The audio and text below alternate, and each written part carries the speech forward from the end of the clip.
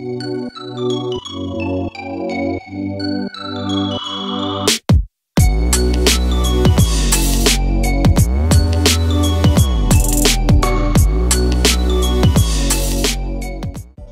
kaybı bir kişinin görme yeteneğinin tamamen veya kısmen kaybıdır.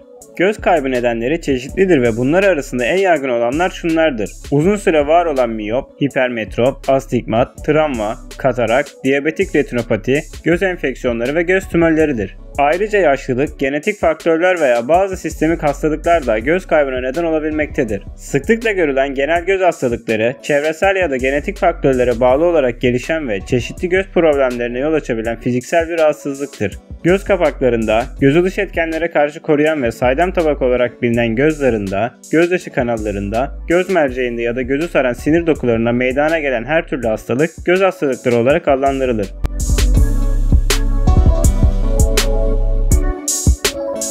Vücudun en önemli organlarından biri olan gözlerde ortaya çıkan herhangi bir problem görme duyusunda gerilemeye ya da göz içerisinde batma, yanma ve benzeri şikayetlere yol açtığı için göz hastalıklarının belirtileri kolayca fark edilebilir.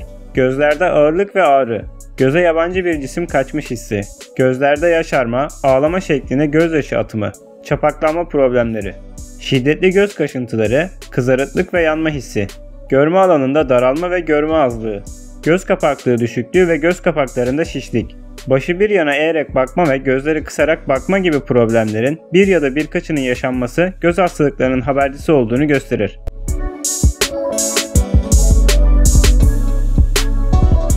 Geçici görme kaybına yol açan belli başlı hastalıklar arasında beyin damarlarında tıkanma ve migren yer alır.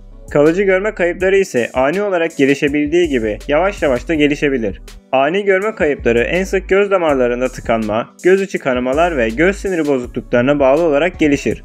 Yavaş yavaş gelişen görme kayıpları ise en sık katarak, göz kusurları, şeker hastalığı, yaşa bağlı sarı nokta hastalığı gibi durumlara bağlıdır.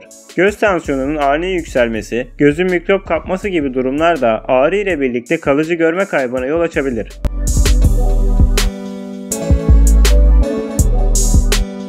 Geçici görme kaybı 24 saat içinde görmenin kendiliğinden geri geldiği duruma denir. Kalıcı görme kaybında ise görme kaybı uzun sürelidir ve tedavi edilmedikçe görme düzelmez. Kimi kalıcı görme kayıplarının ise tedavisi mümkün değildir. Ayrıca kişiler görme kaybını bilinçli olarak taklit edebilir. Bu duruma temaruz denir. Kimileri ise bilinç dışı sorunlarından kaçmak, onları görmezden gelmek için görme kaybı yaşadığına inanabilir. Bu duruma histerik körlük denmektedir. Bazı durumlarda ise ağır psikolojik strese bağlı olarak görme noktasında ödem sonucu gerçek bir kalıcı görme kaybı gelişebilir. Görme kaybına yol açan her türlü hastalık neyse ilaçla veya cerrahi olarak uygun tedavisi yapılır. Örneğin katarak varsa ameliyatla tedavi gerekir. Ancak maalesef her görme kaybı tedavi edilebilir değildir.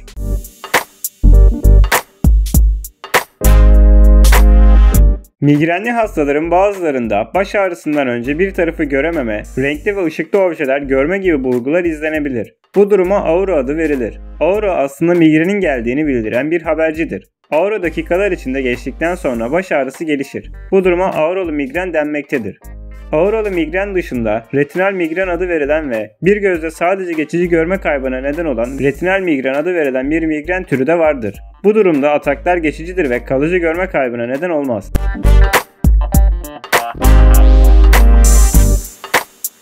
Görme bulanıklığı, şiddetli göz ağrıları, baş ağrısı ve bulantı, gözlerde kızarıklık ve şişme gibi belirtilerin gözlemlenmesi bir göz hastalığının varlığına işaret eder. Belirtilerin doğru gözlemlenmesi erken tanı ve tedavi için oldukça önemlidir. Doğru tanı belirtiler ile birlikte göz doktorları tarafından yapılan test ve muayeneler sayesinde belirlenir. Göz hastalıklarının teşhisi için en çok kullanılan başlıca tanılama yöntemleri şunlardır. Görme kaybı testi, tanometre adı verilen ve göz içi basıncı ölçen alet ile gözde yapılan göz dibi muayenesi, Göz bebeği üzerine damlatılan ve gözün genişlemesini sağlayan damla ile gözün ışığı kırma değerleri, retina muayenesi ve optik sinir muayenesinin yapılması olarak sıralanabilir.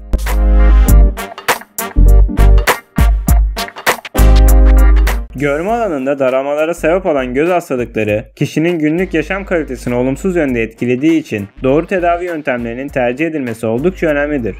Doğuştan gelen göz rahatsızlıkları ve çevresel etmenlere bağlı olarak ortaya çıkan görme problemleri için birbirinden farklı tedavi yöntemleri geliştirilmiştir.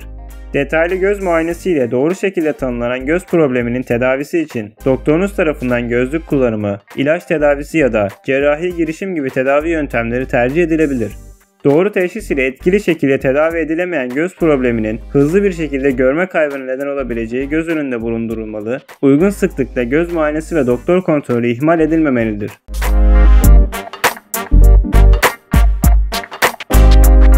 Göz problemlerinde lazer ameliyatının uygulanabilmesi için bazı ön tetkiklerin yapılması gerekir.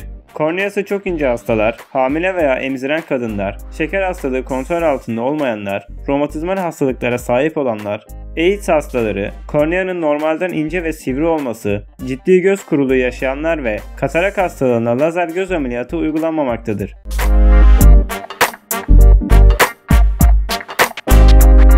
Her 100 kişiden 90 ila 95'i gözlüksüz tam görebilirken 5 ila 10'unun ince bir gözlük takması gerekebilir.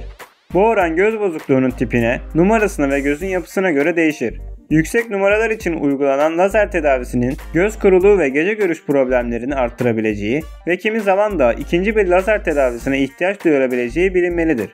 Operasyondan yarım saat sonra yapılan muayene ile hastalar taburcu edilir. Hastalara yalnızca koruyucu gözlük verilir. Kişisel göz bakımı ve verilen ilaçların düzenli kullanımıyla tam başarıya ulaşılır.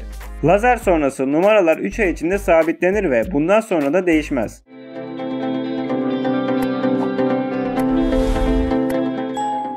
Göz kuruluğu gözyaşının gözler için gerekli olan nemlendirmeyi sağlamadığında ortaya çıkan yaygın bir durumdur. Gözyaşları birçok nedenden dolayı gözleri nemlendirmede yetersiz kalabilmektedir. Yetersiz gözyaşları göz kuruluğuna sebep olabiliyorken gözyaşının kalitesiz olması da yine kuruluğa sebep olur. Bu durumun geçici ve kronik olma ihtimali vardır. Göz kuruluğunun kronik olması bu sorunun uzun süredir devam ettiği anlamına gelir. Kronik olması durumunda belirtiler zaman zaman iyileşme gösterebilir. Ancak göz kuruluğu tamamen ortadan kalkmaz. Göz kuruluğunun kronik olması çoğunlukla yeterli gözyaşı üretilmediğinde ortaya çıkar. Bunun nedeni gözyaşlarının çok hızlı buharlaşmasıyla olabilir. Ayrıca gözün içinde veya göz çevresinde iltihaplanma olmuş olma ihtimali de vardır.